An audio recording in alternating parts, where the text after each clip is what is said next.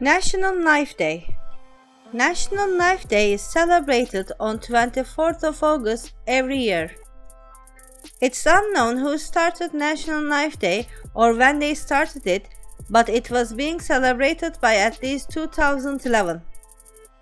It's also unknown why the observance takes place on August 24th, but one explanation appears to be that the date is connected to the Bowie knife. It was on this date in 1838 that Rezin Bowie, the brother of the knife's namesake, who wrote the letter to the planter's advocate claiming he was the person who had created the knife.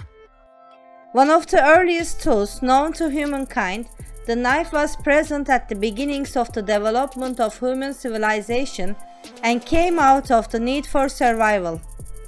Early on, knives were used as primitive tools for digging and constructing, as weapons and to hunt, fish and gather food. In contrast to today, almost everyone carried a knife.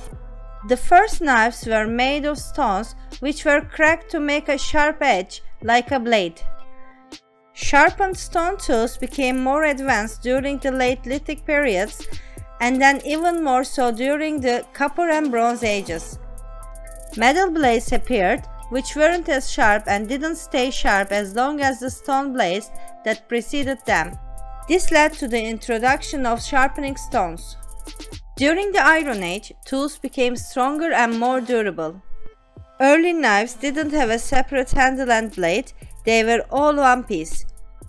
Eventually, handles began being made out of carved bone, wood and metal, and then rare materials like mother of pearl and tortoise shell began being used. Today, wood is one of the most popular materials used for knife handles, and metals like stainless steel are also common. One other change besides the advent of a separate handle was the invention of the folding knife. Knives have many different purposes in the present day, some of which are the same as they have been for thousands of years. On this day, you can clean your knives and sharpen it for better use. National Knife Day is the perfect day for anyone who is to start learning about the knife.